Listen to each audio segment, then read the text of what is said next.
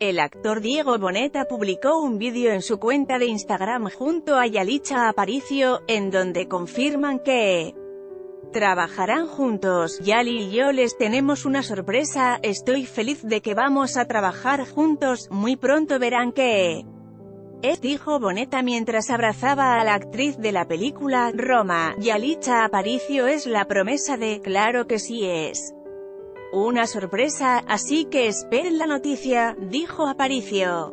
Antes de las 7 de la tarde horas, el video ya tenía más de 168.000 vistas y contando. Aún no se sabe de qué proyecto se trata, ni si se verá en cine.